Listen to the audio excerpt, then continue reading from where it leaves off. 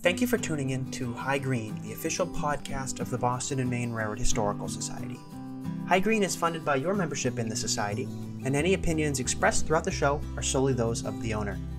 As always, if you'd like to learn more about our organization or join us, you can find our website, www.bmrrhs.org. Perhaps this story hasn't been told in B&M circles, but it's, it's a B&M story and it's a good one. Oh my God, he says, I don't think I ever saw a train down here before. he was amused.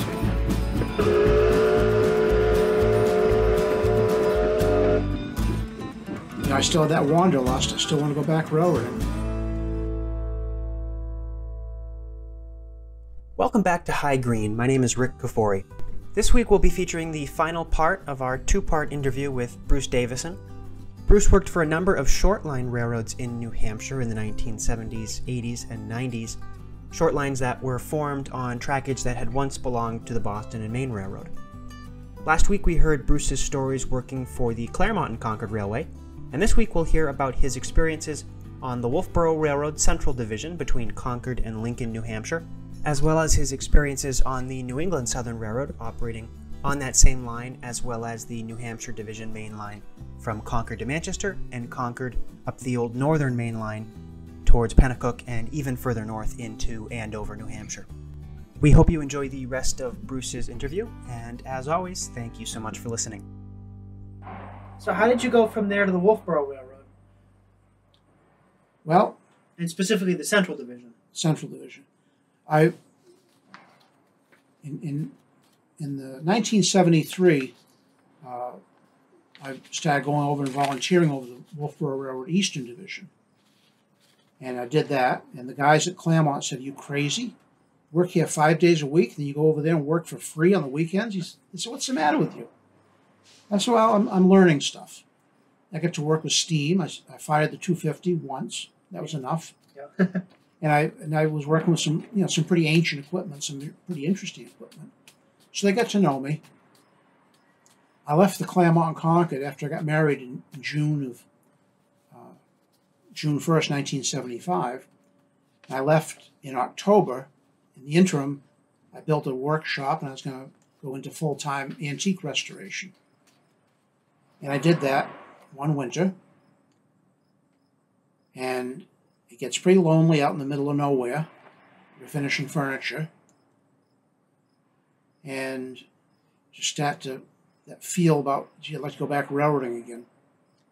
And then lo and behold, I got a phone call from Jimmy Moore from the Wolfeboro Railroad. And he said to me, he says, I got your name as a reference for Dave King. And I'd worked with Dave King on the Claremont Concord. He says he's applied for an engineer's job on the Central Division. This time, the Central Division up and running. And Jim said, you know, we need to. He said, I need to get back on the East Eastern Division, get things ready for the tourist season. So, so we need to get get people for the Central Division. So, so uh, how about Dave King?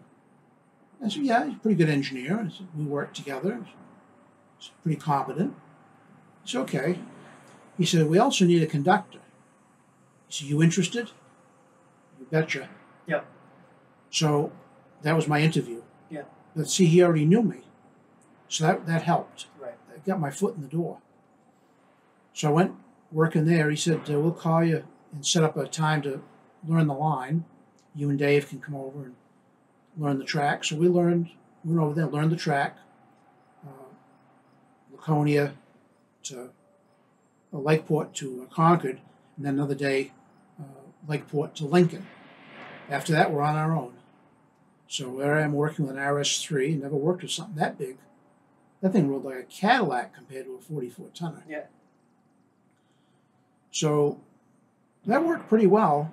Uh, while the paper mill was running in, in uh, Lincoln, that kept us pretty busy. And we often we'd, we'd run one day to one day down to uh, Concord, and then the next day go to Lincoln. I remember a few times we did the whole thing in one day. That was quite a round trip. Yeah. A lot of lot of crossings to flag, a lot of slow orders. Yep. It made for a, a long, long day. We didn't do that very much. Mhm. And then the, when the paper mill closed down, then things got pretty lean. They were running excursions, ran some springtime excursions, Concord to Lincoln, when they first started in April. I even bought a ticket and rode that, and then a month later I was working there. So I thought that was kind of an interesting thing. I could I could have saved my money, I guess. Yeah. And then they ran excursions from Laconia to Meredith during the summertime. We just call that the Turkey. And Dave King was, was engineer, and I was sometimes I was working the head end with him, sometimes I'd work in the coach with Ray Welch. Uh, it varied some. But Dave would go as fast as he could, so we have as long of a layover at Weirs Beach as we could, so we could look at the women on the boardwalk. And, and that was memorable. So that, that lasted until uh, Labor Day. That was the end of that. Then we ran some fall foliage trips up to Lincoln, Concord to Lincoln again. Yep. Then after that, things really slowed down. And it, in the end, it got to the point where it was Dick Mauser, Brian Woodard, and myself, we were running the whole thing. And by this time, we were only going as far as Plymouth. And that was for coal for O.A. Miller, which made shoe trees, which later on became part of Rochester Shoe Tree. And they shut that plant down and built, built one down where the Lakes Region Shipping used to be in Ashland. Yep. And then we used to get uh, carloads of feed for uh, Merrimack Farmers in Plymouth, and that was it. So from Meredith to Plymouth, there wasn't much traffic. And to go up Ashland Hill, it, was, it was not good. And, you know, the, the Central Division was hemorrhaging red ink. So the last trip we made to Plymouth, we had a carload of feed, set it for Merrimack Farmers, getting ready to leave, and then this big Cadillac, or maybe it's a Lincoln, pulls up. It was Herb Goodwin. Later on, Goodwin Railroad. Yep. Him and Jimmy Moore and Don Halleck. They came and looked at the 101. They were going to buy the 101. And Don Halleck said, Well, boys, this is your last day. Yeah. said, Goodwin Railroad takes over tomorrow. And he congratulated us for all the work we'd done and how hard we worked to keep things moving.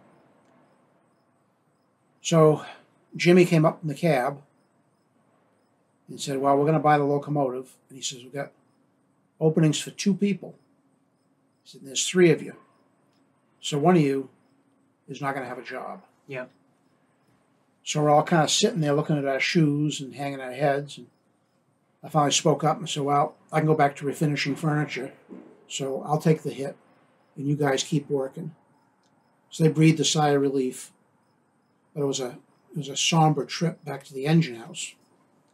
We tied up the engine, then we started grabbing stuff out of the file cabinet, and I got all kinds of interesting stuff there, including some stuff in Dave King's own, we'll say, personal file folder. Got interesting stuff, and various other things that we thought we could get away with. Mhm. Figure we might as well have it, because otherwise it'll go in the dumpster. Yeah.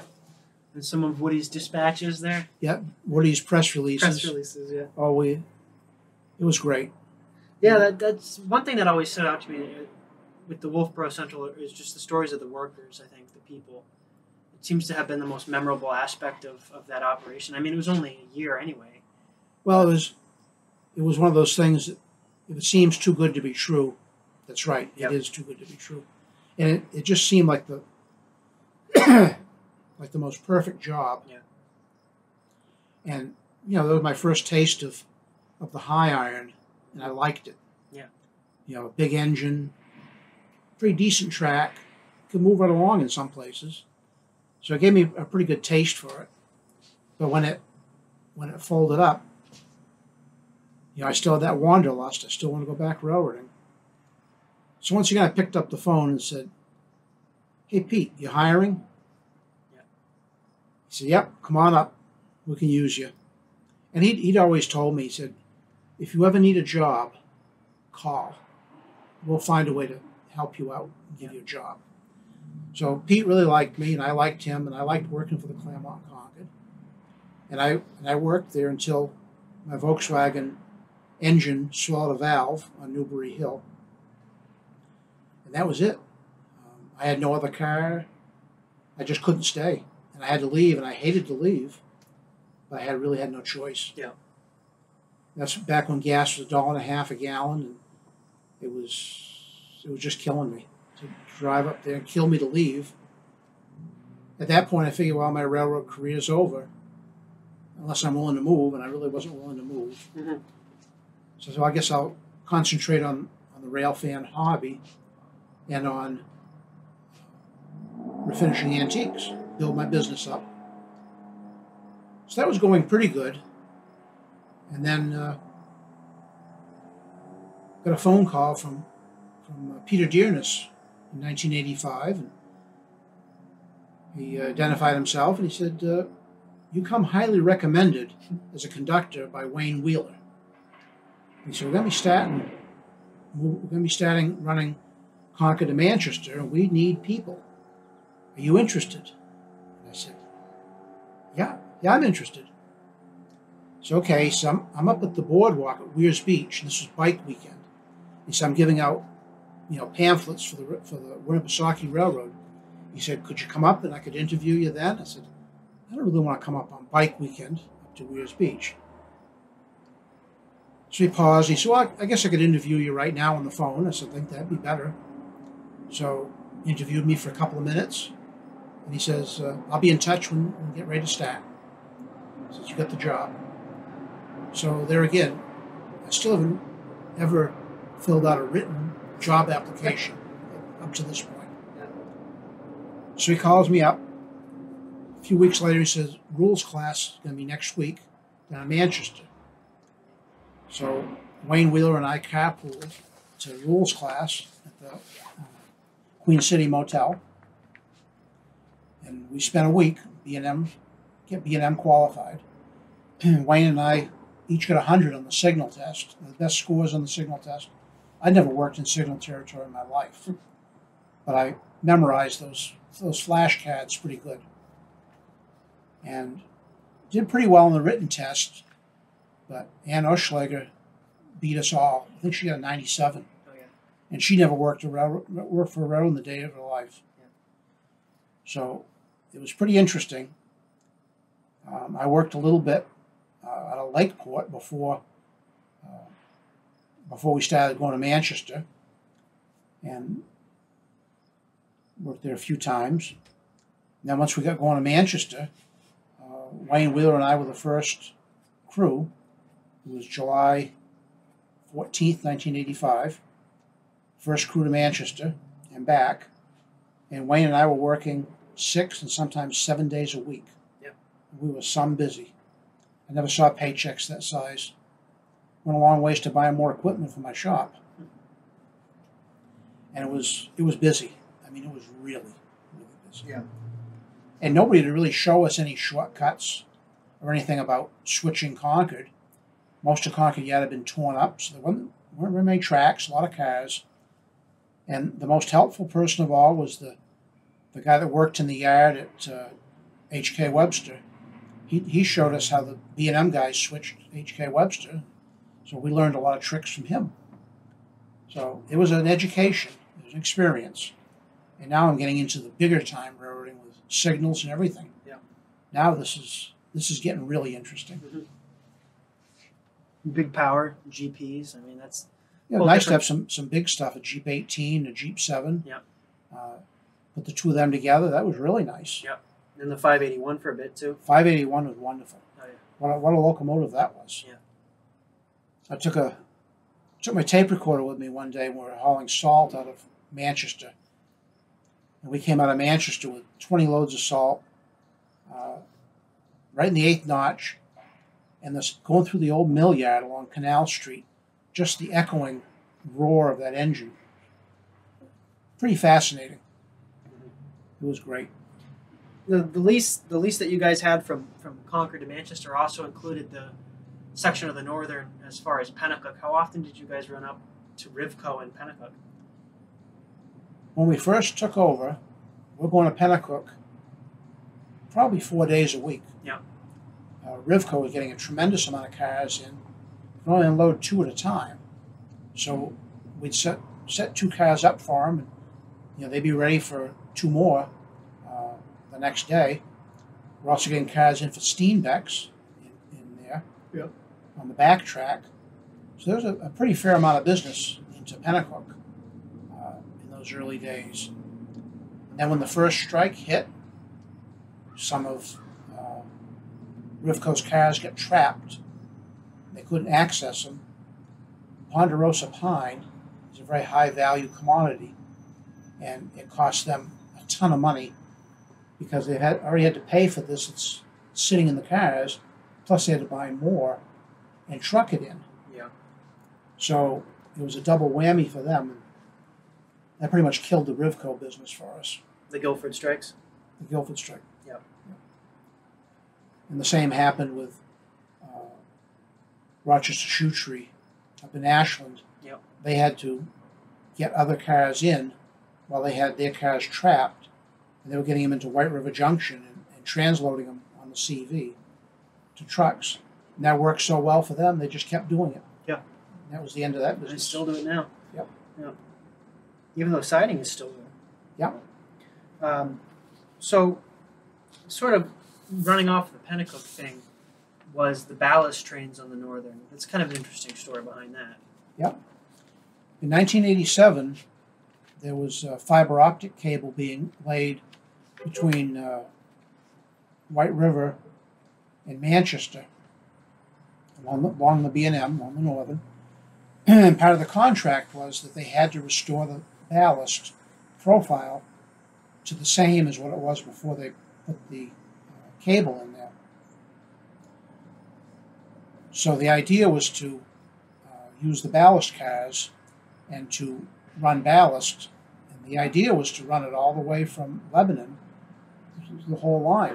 Well, there's some washouts along the line in Danbury, so they couldn't run all the way to all the way up to uh, West Lebanon to get the stone. What they finally wound up doing was loading the cars at Gale Siding, which was just west of Potter Place, and they would uh, load the cars. First, first bunch they did, they went right down to Concord and started unloading the ballast right at Concord and working their way north. They could just keep doing that, just keep doing that. And we did this for about a month on Saturdays and Sundays. It was June of 1987.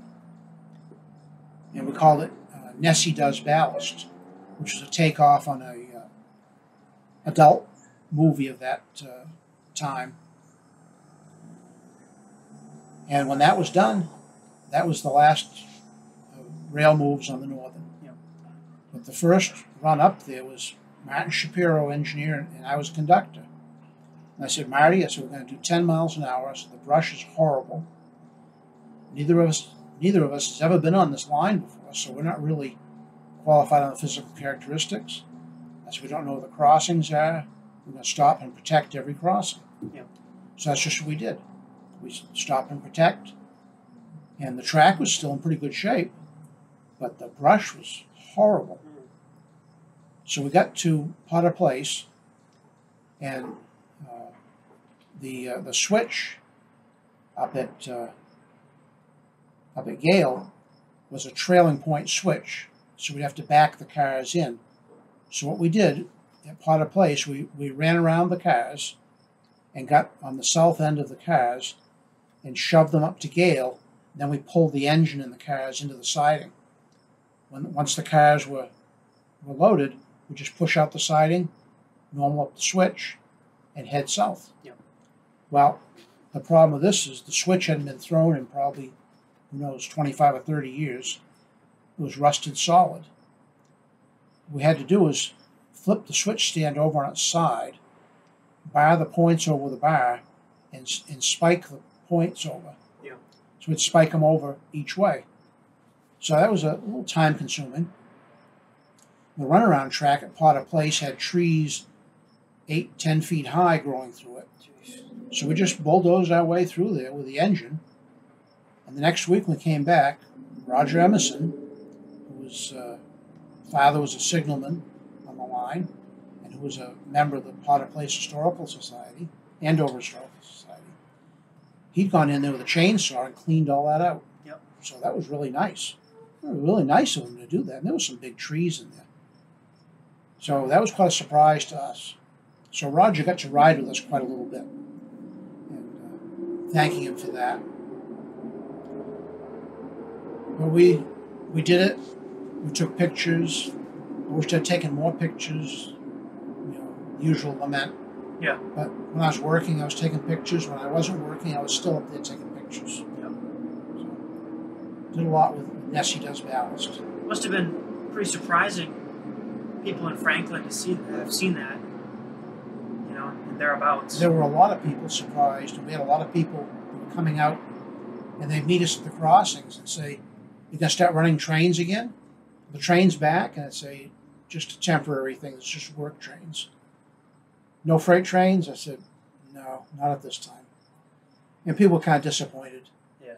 One day, a, very a funny thing happened. One day, Martin Shapiro was engineer, and Pete Dearness was conductor on the train. And I'm taking pictures, and we're at Potter Place. And there was a small crowd of people gathered around right there. And Roger Emerson got off, because he lived right there. He got off, headed home. This is the last run of the day, heading for Concord.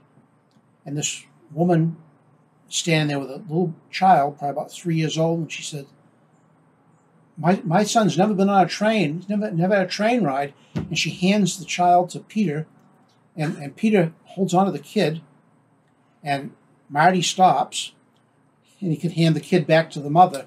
But the kid probably got a, you know, 30 or 40 foot train ride. uh, I got a picture of it, Yeah. of this uh, train ride. That was funny. That's great. Kid had a very brief run on the Northern. Yeah. And so for the rest of the time, you would have been running mostly Manchester to Concord and Concord to Manchester. Pretty much. Yeah, And- a lot of salt. a lot of salt, Yeah. you know, of course running up to Penacook. Yeah. Uh, and sometimes I'd run up on the Concord Lincoln line too. It all every day was different. Yeah. And that's what I liked about the about the railroad. it was not monotonous. Yeah. It was it was never never boring. There was always something going on. And the salt could get very heavy. Uh, International Salt and Bow could unload seven cars at a time. So we'd seven out, seven in uh, pretty much every night. The Perini siding would be full of salt cars. And we handled a lot of salt. A lot of salt went through there. And, you know, Blue Seal Feed was a, was a big customer and had a lot of other team track. We had Fortec for telephone poles. There was, there was a lot of business in Concord. Mm-hmm. Yeah. It, was, it was a busy place. But as time went on, business just faded. Yeah. It just slowly went away, Right. and we were working less and less. It, it got to the point where it was getting hard for me to you know, to make a good living there. Yeah. So And that's when you left New England Southern. that's when I left New England Southern. I worked there nine and a half years, and I left to come up here to Maine and work for the St. Lawrence and Atlantic as an engineer. I'd always worked as a conductor and, and some as an engineer, but my my real love was, was working as a conductor. I liked being a conductor. So I came up here. They needed engineers. Didn't need any engine. Didn't need any conductors. They already hired a couple. Right. So I, I came up here and worked as an engineer, and I, the, this is the longest I worked on, on any road. I worked here for almost 19 years in St. Lawrence and Atlantic. So the best paying years uh, it was a union job and paid very well. The benefits were very good. Yep. But I still miss the CNC though. Oh yeah. well, after going starting there, I mean, just the amount of, of traffic and, and the interesting situations is street running, branch running, paper mills. You know, just a variety. It was it was a, a great variety of traffic, but an interesting cast of characters. I think that's the best part. Yeah. You know, Bill Dow was a great mechanic. He could make something out of nothing. Yeah. Uh, I've never seen anybody with that with that kind of talent, uh, and he was he was really good at it. Uh, Biff Rainey, one of the very best engineers I've ever worked with. Biff was very good. he could make those 44 tonners do things that 44 tonners aren't supposed to do. But he'd make them do it. Yeah. And he'd make it look easy. Yeah. And I learned a lot from Biff. He was a great mentor to me. And Clarence Lambert, well, he was kind of grouchy, but he wasn't a bad guy. And uh, just a little high strung. Mark Tewksbury, who I worked with a little later, um, he was just the opposite high strung. He was pretty mellow and pretty good engineer, too. Dave King, well, Dave King was an interesting character. I worked with him after he, he became the engineer after Clarence Lambert had his heart attack. Worked with him over there, then worked with him on the Wolfeboro Railroad. Yeah. Yep. I think in terms of, you know, these all three lines. Well, the three lines that you worked for at first, the Claremont Concord, the Wolfeboro, and the New England Southern, having been former Boston and Maine territories at one point in time, you know, in their in their lives. Uh, what was it? So, for somebody that grew up with an appreciation for railroading and interest in railroading, what was it? What was it sort of like having gone from studying the Boston and Maine to having worked on these Boston and Maine branch lines, but in a different incarnation as these independent short lines? Well, it was interesting to see how railroads actually worked. Yeah. As compared to the rail fans' uh, version of what railroads are, compared to what a railroader's version are. Yeah. Is uh, I when I got B and M rules qualified to work on New England Southern, I learned a lot, and I learned a lot about why things were done in a certain way that I just never knew before. So it was an education uh, for me, but it gave me a better appreciation of what was happening. It made the hobby that much more interesting for me, and to see you know what was like going through Concord, going past the old Concord shops, uh, going into the old engine shop, and all these things. You see these various artifacts they have beside the tracks. It was kind of it was interesting, and you just have to wonder, you know, what it was like when it was a double track main line to Manchester and, Yeah. and down below, and all this stuff. You know, semaphores as opposed to searchlight signals, and it gave me a, a pretty good appreciation for what was there and what the what the people saw before me that worked on that line. And and also having had worked, you know, a lot of a lot of final things too. When you think about the last run in Newport, um, you know, a lot of these runs on the Wolfeboro, you know, weren't necessarily the last, but you know, it was sort of the last time like the paper mill was busy and these things. Was there is there anything that you you just missed out on in your railroad career that you would have liked to have experienced, like anywhere you would have liked to have been able to run, or anything you would have liked to have been able to service industries or anything like that? Anything that stands out as having having been too late to experience that Well, certainly going to Concord on the Claremont and Concord would Yeah. have been tops on my list, and going to Henniker on the Claremont and Concord too. right Uh, that would have been that would have been the best of the best. Yeah. Uh, but certainly running on the Concord to Lincoln line, I've often thought would have been nice to be able to go from Plymouth to Woodsville. right That was that you know missed out on that too. All these things you know came. You know they, they were gone before I started railroading. Uh, gone when I was just a little little kid. So I guess the only way I can look at it now is if I had worked on those things, I wouldn't be here now. that's true So I guess there's two ways to look yeah at it. all these pic- pictures you're finding now you wouldn't have you wouldn't have seen and Yeah. Yeah. And and the interesting thing is, by working on these lines, when I do find a picture that's unidentified, sometimes I can identify it because of my familiarity with with the, the area. Yeah. So that's come in handy too. it's kind of helped you with your hobby too you Yeah. know. It, it's it's been a pretty darn good hobby for me, but a darn good living for me. Yeah. And a really good retirement. that's true Railroad retirement is is very good. Yeah.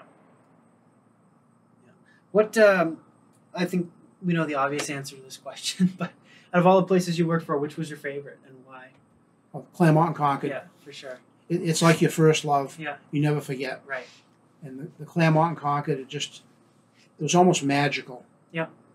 You had old trolley line. I mean, running in the street is it's it's nerve wracking. It certainly helped Clarence Lambert's ulcer, uh, you know, survive all those years of, of him assaulting with Maalox. Yeah.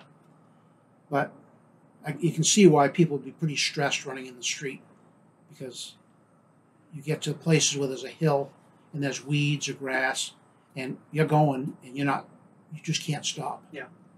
you don't know where you're going to stop Right. and that's scary it certainly twists up your stomach Oh yeah.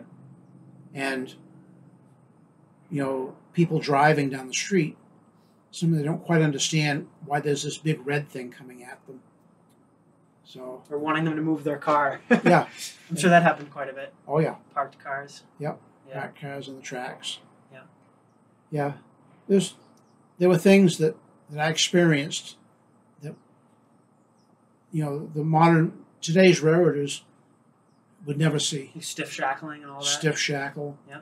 Um, the re-railers that we had, the clamshell re-railers Yep. in the street. All these things that just gone. Just gone. Yeah. Push poling, used to do a little of that. Yep. All these things that just aren't they just aren't done. Yeah, it's interesting. I think that's why the CNC is sort of a legendary branch line, and why you know a branch and, and a short line that people come back to in terms of interest is that it was just so unique for in so many ways. Being that street running isn't unique necessarily, but the fact that street running and 44 tonners and the type of freight you were moving and the volume of freight and then the former B&M branch line and all these things kind of combined kind of really did make it sort of a magical place sort of like a sort of like a, a modeler's delight Yes. like a, almost like a f- fantasy world of, of railroading but very functional at the same time Well, street running, a couple of covered bridges, uh, really tight curves. Yep. I mean, what's not to like? yeah And you know, and it and it and it worked. It worked very well. It was a very profitable uh, operation. It it had everything going for it. Uh, so yeah, it's it's my favorite railroad. Always will be. Mhm. And the the Wolfeboro Central Division, that was just too good to be true. Yeah. And because it was too good to be true, it was gone. I mean, you- you talk about just a perfect setup. I mean, that was that was it. Yeah. But and when, if the tr- if the traffic had held, it would have been great. Mhm. But the, when the when the mill closed in Lincoln, that was the end of it. But other than that, it was it was pretty good. Yeah. We, we had a really good time there. Had way too much fun. the, the branch line excursion the rumble branch line branch ramble. line branch line ramble. Yeah. Yeah. Yeah. The branch line ramble went from Lakeport. It was a, done as a fundraiser for the Wolfeboro Branch Railroad Club. From Lakeport out the Lakeshore branch to McDonald's on Union Avenue in Laconia, and stopped for the, for food. And everybody gets off the train, grabs something to eat, and then once everybody gets their food, back on the train, away we go. Yeah. Head out to the, the main line, go down to Tilton, Northfield, run around the train, two cars, and we shove them down the Franklin Tilton. Down as far as the upside down covered bridge. Jim Moore's on the on the end of the car with a dump hose to dump the air when we get to the bridge. And Dave King's in the engine. I'm in the engine. You can't see a thing because the brush is so thick. The only crossing on there is uh, Cross Mill Road. Yep. And uh, Billy Remington was, was flagging that for us. So we just started pushing. No radio, just the dump hose. So we get down there, down below Cross Mill Road. You know, we're going to be getting close, maybe. And the air dumps. So when the air dumped, we just stopped. Yeah. Recovered the air and just pulled out. And what we didn't know at the time, we were, the first coach was about halfway across, the, halfway out on the bridge. oh yeah We didn't know that. So that gave people a little bit of a thrill, I'm sure. Yeah. Then we got back on the main line, and Don Halleck says to me, "So you know we're supposed to go out the Quinn T siding, which was almost like the Belmont branch, ran parallel to the old Belmont branch. He said, We're running out of time. It's getting dark. People are getting kind of anxious to get, get going. So, so we'll skip that. Yep. Okay, so we highball right past Belmont branch, got to Lakeport, let everybody off, put the cars away, put the engine away, and uh, I get get back in my car and drive down to Northfield to my in-laws' house, and I dropped my wife off there earlier. Well, in the meantime, she'd gone into labor, and the dog had run out into traffic and broken her nose, got hit by a car and broke her nose. So the dog's in the veterinary clinic. My wife's in labor, and I'm heading for home. I'm exhausted. Yeah. So I went and got a little bit of sleep, and then she said, "Time to go to the hospital." My son was born about 10 a.m. that next morning Mhm. after the branch line ramble. Yep. So it was it was a busy time. And the state wasn't too happy about that. No, Is that was that right? yeah, Yeah. the Wolfeboro Railroad did not have any rights to get on the Franklin Tilton branch. right. And when wind they got, got wind of it down at the state, Yep. uh, Don Halleck got a letter uh, informing him that he was to never, ever, ever do this again. and Don had this posted right on the bulletin board at the office in Wolfeboro. Well, if somebody had sent me a letter like that, I'd have put it in the deepest, darkest file folder and never to be seen again. Yeah. Uh, so, needless to say, we never went down the Never F&T branch again. so Nothing ever did, I don't think. That was the end of that. Yeah. But there just wasn't much. There's nothing, nothing below Tilton. No. I think Canterbury. Nope, nothing in Um, Canterbury. You know, Meredith. We had Prescott Lumber later on. Garrity. Yep. Lumber. Had two sidings. Had the had the dock down by where you guys are, but there was the, one at the other side. The old siding. Yeah. Yeah. They would get uh, they get windows in their millwork. Yep. Stuff like that from Anderson. Anderson Windows would come in there. And then Really nothing till Plymouth. Yeah, nothing in Ashland. No. In Plymouth, we just had uh, O.A. Miller with the with the coal, and then had Merrimack Farmers, and that's it. The mill in Ashland was gone at that point. At the bottom. Yes, yes, that was long gone. Under the under the bridge, yeah. And then nothing more until we get to Lincoln. In in Plymouth, the um, the, the the shoe tree mill that got coal before it moved to, to Ashland was that in the Foster's complex, In the what complex? the boiler room complex. It's now the Common Man there. No, No. That was a peg mill, I think. that was the, that was Peg Mill. Uh, Rochester Shoot, the O.A. Miller Shoe Tree was on Main Street, Oh, okay. big brick building on Main Street. Yep. I don't know what it is now. Maybe it's part of the college or something. Probably. If it's even still there, they redid that whole It was a area. big. It was a big building. Yeah. pretty substantial. When they put in the traffic circle there, they uh, they, they demolished some, some stuff there. Mhm. The original bridge. Yep. Memorial Bridge or whatever it was. The peg mill was interesting because they didn't really have a connection with the railroad. No. They did not have a switch. They had a, a crane. You've probably seen the, the, the crane they had, Yeah, a rail crane. rail crane. When they got that, came in by rail. And they cut the main line and just put it over onto their track and put that crane in there. And there were some pictures on uh, on eBay that went probably some Alan Thomas stuff. It was.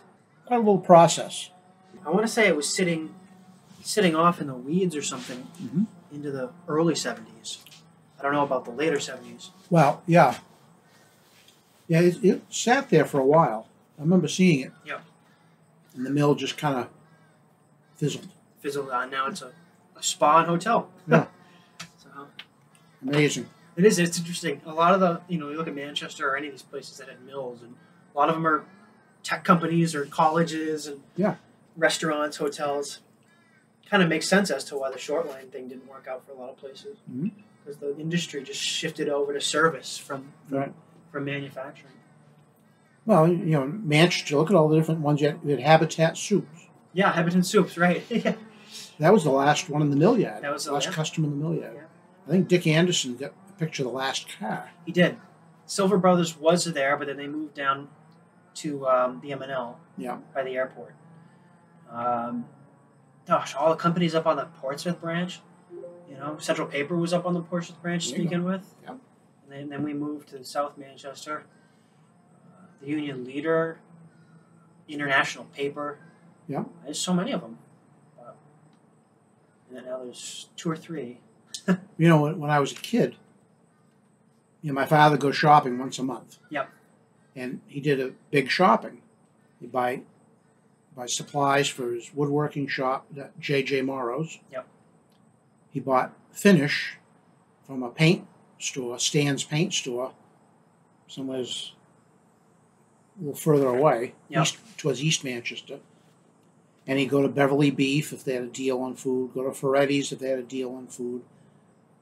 And always went to Mammoth Mills. So, being in Mammoth Mills many, many times. Yep.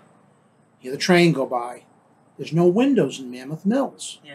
You can't run to the window and look. Yeah. The only way you ever see it is you'd have to go, go down.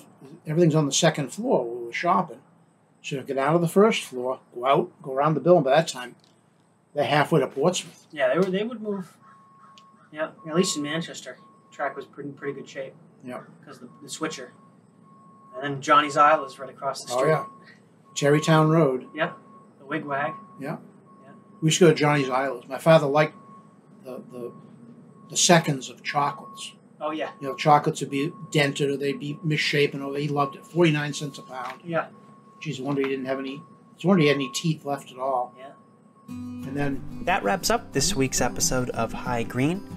If you'd like to be on the show, or know somebody who might have some interesting stories about the Boston and Maine Railroad or its legacy, please reach out to us. You can email us at bmrrhs at gmail.com or send us a message right on Facebook. Thanks so much for listening, and we hope to have you back next time for some more great stories about the Boston and Maine Railroad and its legacy right here in New England.